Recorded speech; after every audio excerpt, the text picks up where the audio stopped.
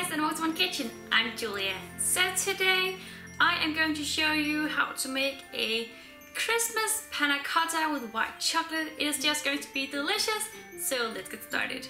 So what I will be using for my panna cotta is some heavy cream, some milk chocolate, seasoned two vanilla pods, some sugar, some gelatin powder, and then some red food coloring paste. And then I have two glasses in here and I have just placed some sugar in two cups just to kind of tip them. And what I'm going to do is to make two portions of panna cotta. One I'm just going to leave white and the other one I'm going to add in some red food, food coloring paste in. So I'm going to start up with my white panna cotta and I'm just going to pour in half of my cream into my pot here. And then I'm just going to sprinkle my gelatine powder over. So I forgot to turn on my camera for that, but you can see it now. The cream is in there and the gelatine powder is just over the surface. And what I'm gonna do now is just to let it set for about five minutes. So my mix is now ready to get over to my stove, turn up the heat, and then I'm going to add in my sugar and my vanilla seeds.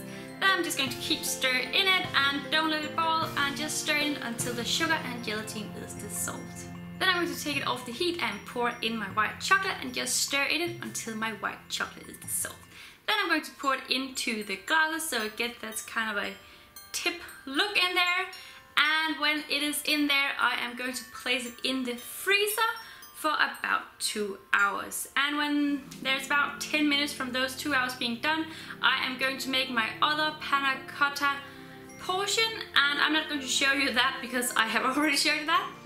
And when that is done, I'm going to add in some red food coloring paste and just stir in it until I have the red color that I want. And then I'm going to tip the glass over to the other side and then pour in my red panna cotta and then I'm going to put it into my fridge for at least 6 to 8 hours or overnight and I'm going to have mine in there overnight. So I will see you all tomorrow.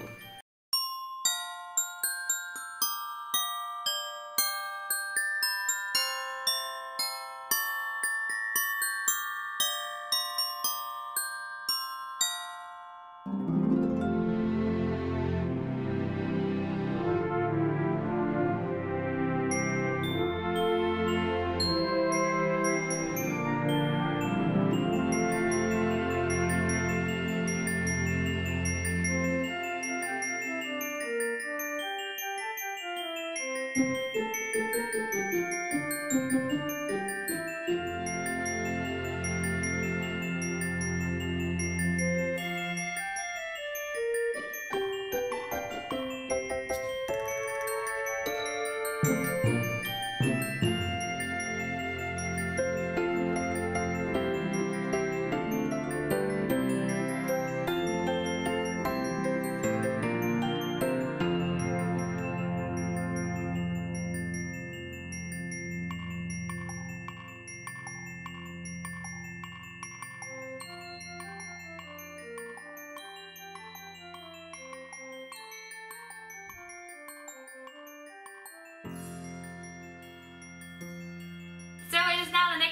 And my panna cotta turned out delicious. It is kind of another different Christmas dessert if you want to serve that on Christmas Eve.